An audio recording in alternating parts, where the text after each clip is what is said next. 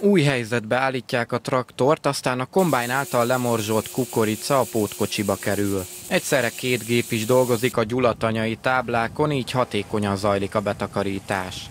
Pénteken 10 hektárnak láttak neki a kísérleti állomáson, ahol több tucatnyi kukoricafajtát termelnek. Az eredményeket aztán szakemberek dokumentálják, vizsgálva a fajták mennyiségét és minőségét.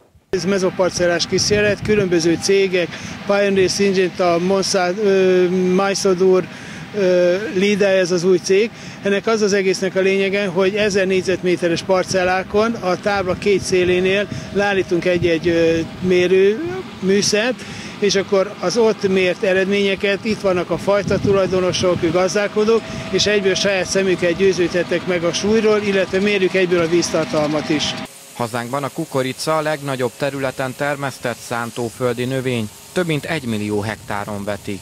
Tavaly kiemelkedő termésátlagot regisztráltak többek között Gyulatanyán is. A szakemberek azonban az idei mennyiséggel is elégedettek, 8 tonna körül mozog a hektáronkénti átlag.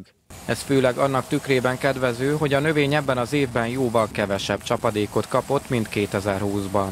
Akik kaptak itt a környéken esőt, azok annyira nem panaszkodhattak, de sajnos ez a környéken is kiesett az esőből. Hát itt mi most egy olyan 100-120 mázsa körül járunk, amit így a, a kísérleti eredmények, amit most produkálnak, és jó felénél járunk a vágásnál, betakarításnál. Augustínyi András hozzátette, a napraforgó betakarítása két-három hete fejeződött be Gyulatanyán. A termés átlag itt is várakozáson felül alakult, hiszen ez a növény is több csapadékot igényelt volna. Végül hektáronként 4 tonna körüli mennyiséget arattak le szeptember utolsó napjaiban.